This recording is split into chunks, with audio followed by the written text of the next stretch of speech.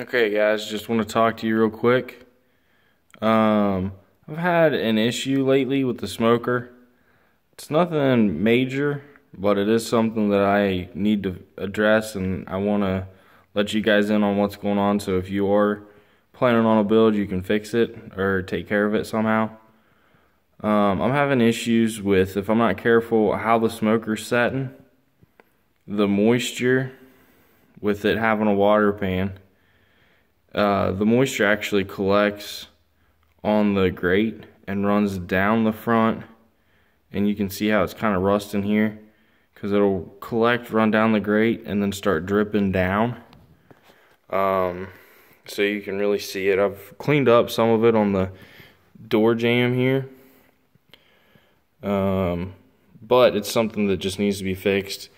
Uh, if you guys know you're going to be sitting level then you can just run it with a little bit of slope to the back so that it collects and runs down the back rather than sitting there. Part of it is because it is level, so it's gonna sit there and collect and then it'll drip down.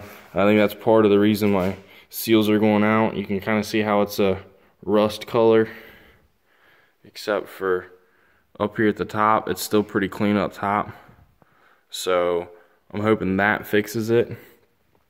Um, but rather than me go in and cut all this stuff out, what I'm to do, because I'm on a trailer and I don't know where I'm to be sitting if I do go mobile. Um, there's four little bolt holes back here that were on the trailer that were for the lights.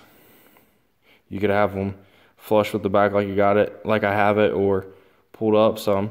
So I'm to get some of those leveling jacks that you see on RVs, the scissor jacks, and put one on each side here in the back. So it'll be right behind the light over there.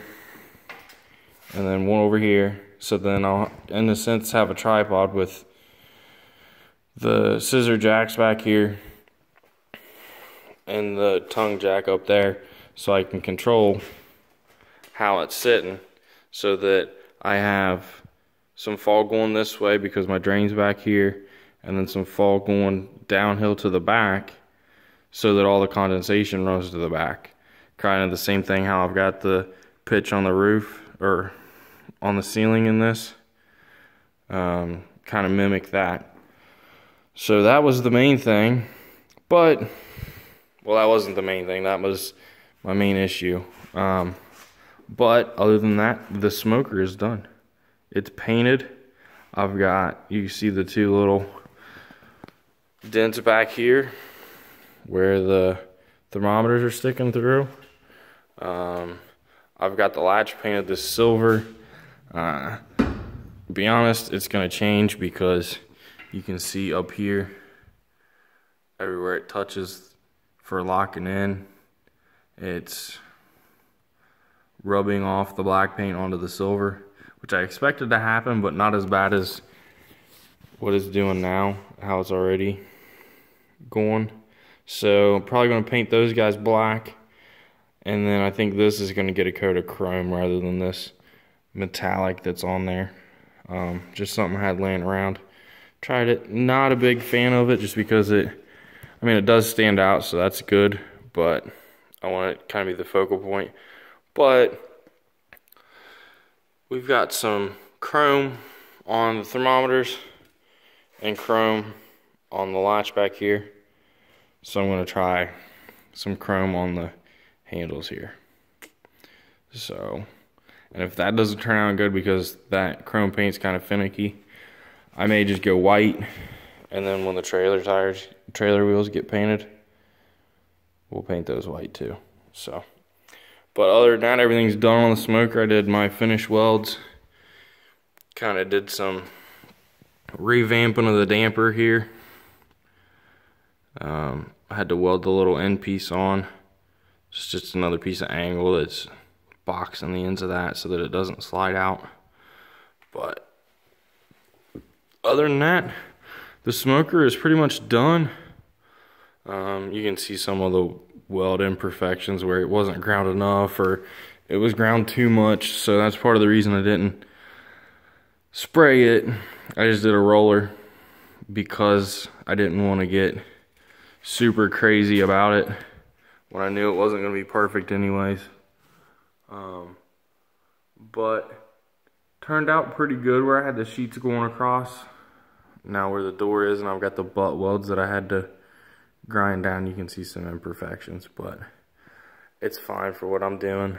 It's mainly going to be around the house, kind of travel here and there for stuff, but like the way it turned out. It's two coats of the Rust-Oleum High Temp Barbecue Black paint. Um, went on surprisingly well. Just a little six inch 3 8 snap foam roller. Took care of it. Um, we'll see how it holds up to the heat. Put it on pretty thick, so hopefully I don't have any rust issues. That's I've had that issue in the past with it. So we'll see how it goes. Um, but other than that, this is pretty much done. I've got, like I said, some trailer stuff to work out. And then that big sheet of aluminum back there is going to eventually make a water tank on the back of here. But, um, speaking of that, here's my new setup. I don't know if you guys have seen this yet or not. Um, but the three quarter that's going off to the right has got a garden hose hookup so I can just crack it and run some water in. But yeah, pretty happy with it. Smokes well. Um, gonna get some cheap scissor jacks, make it to where I can level it out. Hopefully I don't have the rust issues or any of that. And repaint this bad boy. But this is pretty much finished.